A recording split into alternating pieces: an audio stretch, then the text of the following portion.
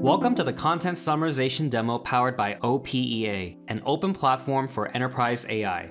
The OPEA and Intel AI software catalog can help developers build complex enterprise AI applications quickly, reducing the time spent in the development cycle and the time needed to get an application to market. This demo leverages Intel Gaudi AI accelerators to unleash the power of large language models for the content summarization use case. In this demo, we'll first show content summarization running on Intel Gaudi AI accelerators.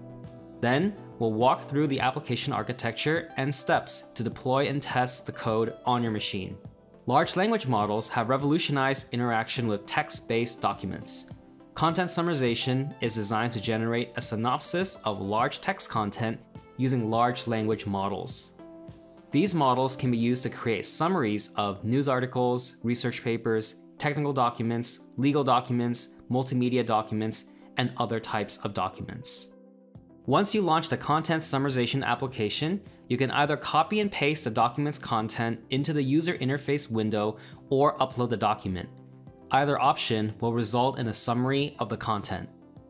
Documents are accepted in various file formats, including PDF, text, and others, including a link to online documents.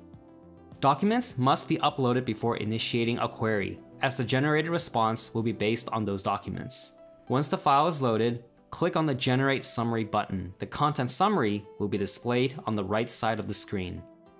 In terms of general architecture, this application uses LangChain to implement content summarization. It also facilitates large language model inferencing using text generation inference, or TGI, to enable high-performance text generation for serving and deployment.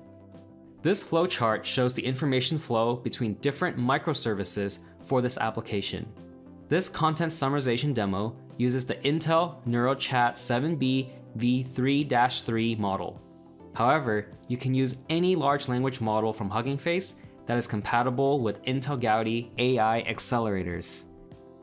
To build and deploy the solution in your enterprise, Follow the step-by-step -step installation instructions available with this demo or in the OPEA open source repository. Note that instructions on how to deploy this application on other hardware, such as Intel Gaudi AI accelerators or Intel Xeon processors, are available on GitHub. Watch this video until the end to see the installation process. Refer to the installation instructions for additional details.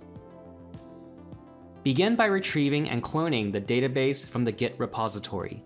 Next, export and set up the environment variables.